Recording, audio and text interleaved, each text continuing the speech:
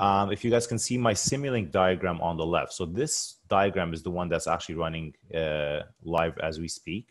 You have the plot on the bottom that I'm running, and you also have the um, the camera. So this is the camera of the cube plugged into my PC as we speak.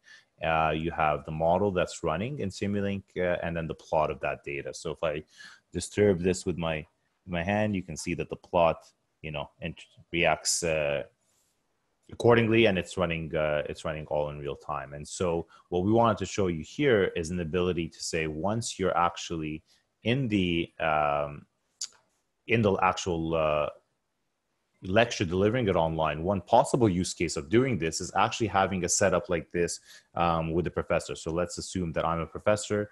I want to teach or, or walk them through that experience but right here with the experience that they're given you don't actually see the code, the underlying code. Whereas in you know in general, all of our products, like I was mentioning, have an open interface to them. And so here you can actually, as a professor, use one of our models. So this is just the one over here is a PD controller. So I have P as one and a D as zero.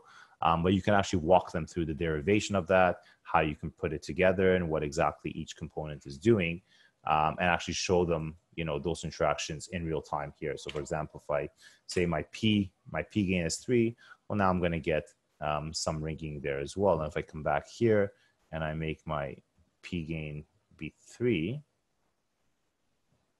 and I run it, you know, you can see that it's actually getting similar results. Um, if you want to be even more accurate, you can see if I swap it out to actual, and my results are actually quite bang on. And, and so the students are then asked to go through um, and and you know do the exercises there that way but the power of actually doing this um, you know through a lecture where you can actually show them the full experience show them the actual piece of hardware via camera.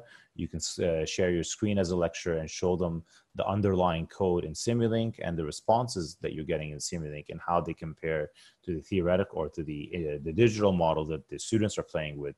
This is yet another way of really bringing those concepts to life um, and, and adding a different dimension of still bringing the hardware into the classroom, um, and, but still delivering it remotely, having the students uh, follow along um, virtually as well.